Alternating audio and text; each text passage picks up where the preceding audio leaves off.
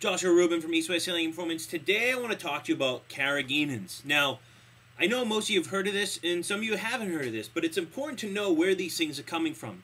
Now, if you read the beginning of the YouTube, you saw that it's in things of food nature, but it's also in things like hygiene products, sexual lubricants.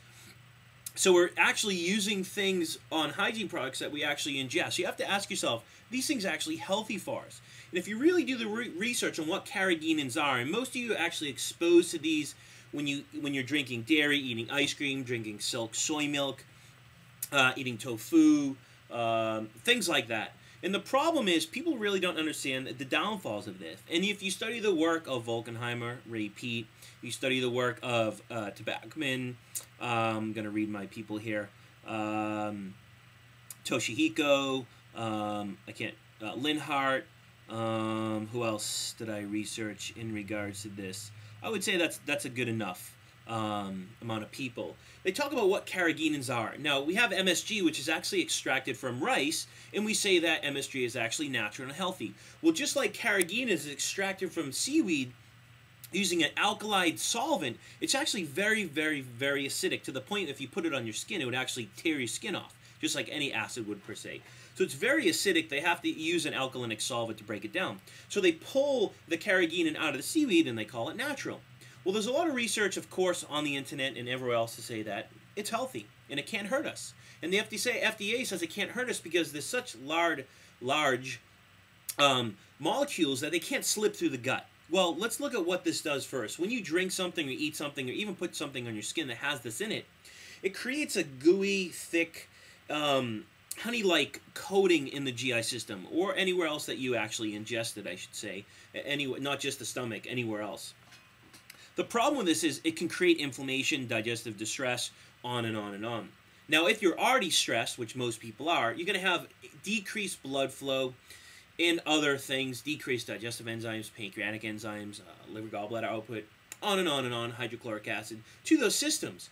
And what can happen is now when you eat the food particles or just foods that you're eating in the presence of carrageenan, there's even more inflammation created. And now you're not even getting small food particles slipping through the intestinal wall into, we should say, the liver or um, creating an immune system reaction. You're going to get large and small small food particles slipping through. So you're going to get even more of an immune system reaction. And the carrageenan itself will even slip through, which overload the liver, overload the immune system, leading to many different dysfunctions with autoimmune diseases, hormonal imbalances, you name it. Because if you're actually stressed, there's inflammation because of the carrageenan that you're eating, or in the substances that you're eating, when it creates the inflammation, these food particles slip through, you create an immune system reaction which can just build, build, build, and build. Of course, there's hormonal things that can happen. I'm going to go over that just in a basic sense. Just remember this, guys. It's YouTube. It's a chance for me to share my work with you, not give you a one-on-one -on -one webinar. At the same time, it can overload the liver. Now the liver has issues detoxifying estrogen, so it can lead to a hormonal imbalance, estrogen dominance, heart conditions, cancer, blood clotting, you name it. So let's look at carrageenan and what it can do to the body. It actually can downregulate macrophages, which is part of your immune system.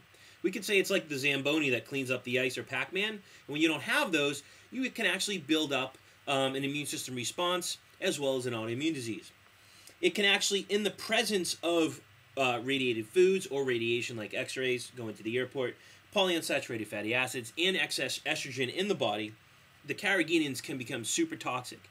And um, Tobacman showed, I'm going to try to find where I wrote this down, that when we eat carrageenan, and so did Ray Peat, that the FDA hasn't really looked at, well, when you're eating them, how do they interact with the bacteria in the gut? Well, Ray Peat talks about this, and so does Tobacman. I'm trying to find my um, little thing that I wrote down here. Um, that when we eat these, uh, here we go. Dr. Uh, Tobacman showed that when we eat these, they actually, as well as Ray Peat, interact with the enzymes in our gut. And the problem is, when they interact with the enzymes in the gut, they convert the high weight carrageenans into low weight uh, molecular weight carrageenans into the human gut. And these actually have been linked to many digestive issues, autoimmune diseases, hormonal imbalances, and cancer.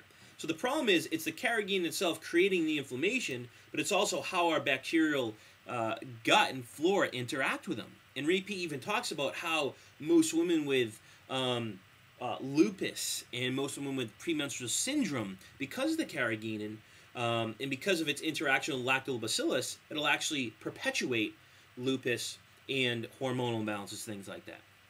So it's the interaction in the gut that's important as well as not just what we're eating. Um, he talks about how carrageenan can actually inhibit what's called cytochrome P450 in the liver, which is phase one detoxification. And this is the part of detoxification that helps the body detoxify drugs, hormones, and things like that. So if carrageenan's actually inhibited this, now we can have a buildup of toxins in our body and estrogen, which can lead to even more problems. Of course, I talked about carrageenan creates inflammation, which, when it does that, you can actually get the reabsorption of estrogen in the small intestine, as well as the absorption of endotoxin in the intestine, which can lead to more hormonal imbalances, liver issues, estrogen dominance, increased inflammation. Um, the carrageenan itself, when you create that reabsorption or absorption of endotoxin, actually creates inflammatory markers, inflammatory free radicals, nitric oxide, inflammatory prostaglandins. Um, what else? and carrageenan can actually, and this is according to Ray Peat, all these according to Ray Peat, um, can change the cellular fun function and imitate cancer uh, cells in the body and send false signals. So it can actually mimic the signs of cancer in a sense and perpetuate the proliferation of cells. So we're looking at something that we're taking in. Uh, the FDA says it's not dangerous because it's large. We can't actually absorb it. Ray Peat talks about that in his article, how according to persorption we can actually absorb large particles. But the problem is it's the creating the inflammation that causes other food particles to slip through the small intestine, create an autoimmune response, overload the liver, cause a hormone imbalance, and really just create systemic inflammation. So the bottom line is this: if all that was too much, the science of it is too much. You know, I wanted to make this as quick as I could, but Maury coming on seven minutes. Really look at what you're eating, because maybe it's not what you're eating that's causing the problem. It can be like if you're drinking soy milk. I don't care if there's carrageenan in it or not. You shouldn't be drinking it. But the bottom line is, if it has carrageenan in it, it actually could be the carrageenan, right, that's causing the digestive distress, and not the ice cream or the dairy. So thanks for tuning in. Hopefully you learned something, and I'm out of here.